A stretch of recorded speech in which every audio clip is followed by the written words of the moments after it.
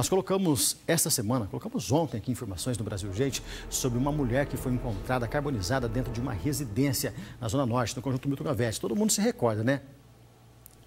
Ontem nós falamos ainda que dependia de investigações por parte da Polícia Civil para saber o que aconteceu. É, pessoal, mas tudo indica que ela foi vítima de homicídio. A idosa foi encontrada morta na madrugada da última quinta-feira, dentro dessa casa localizada no conjunto Milton Gavete, na região norte. A vítima foi carbonizada durante o incêndio. O corpo da dona Tereza Fausta Cruz, de 71 anos de idade, foi encaminhado ao Instituto Médico Legal. Informações dão conta de que nos primeiros exames foram constatados que ela pode ter sido vítima de um homicídio. Chamou bastante atenção, né? É, como dito, pelo estado a qual estava, carbonizada, como dito, né? E segundo alguns peritos que foram ao local, é, existem evidências também de que possa ter acontecido um homicídio no local e tudo isso seja fruto de tal situação.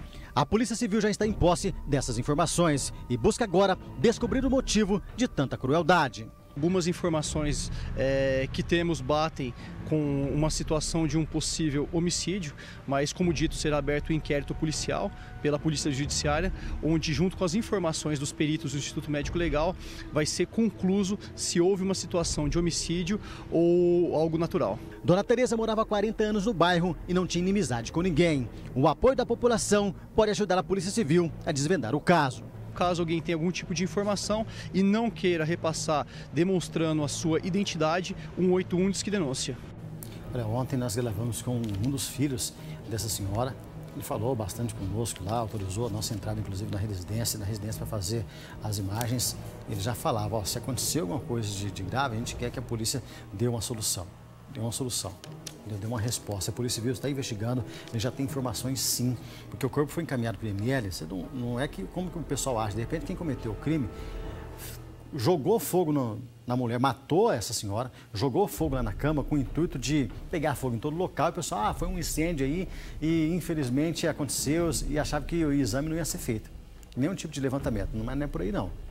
Numa situação dessa, o corpo foi encaminhado ao Instituto Médico Legal e lá é feito todo tipo de exame, muito bem detalhado, para constatar a causa da morte e se tem algum, algum indício de que essa mulher pode ter sido morta de forma violenta.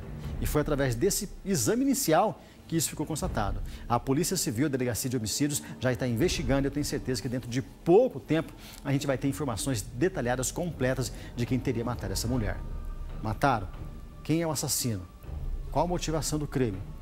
São essas indagações que a Polícia Civil está fazendo nesse momento. E a gente vai continuar investigando junto com a polícia esse caso, pode ter certeza disso. Se você aí da região pode colaborar, ouviu algo, tem informação, ligue para a polícia também.